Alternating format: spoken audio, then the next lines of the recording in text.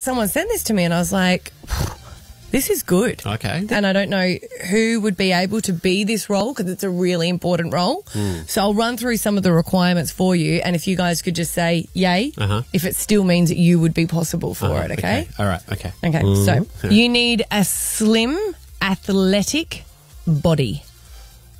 Yay. I'm not feeling at my best. Throw out an A then if you're not. oh, I'll, I'll give a, I'll give a meow.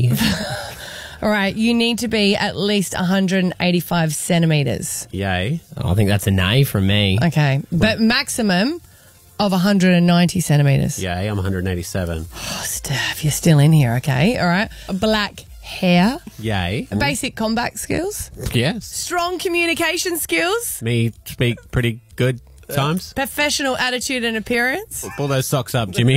yeah, I'm. I'm still yaying. I think you were born for this role, and Oh. people have said it before. Oh. They are looking for, and you, Superman at Movie World.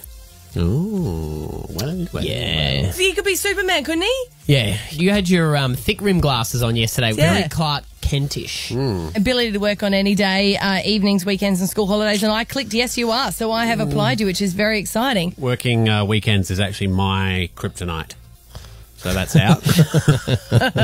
It'd be a fun job. Has Superman got a voice? You can do Batman voice, Yes, I'm Batman. but what about Superman? Hi, I'm Superman.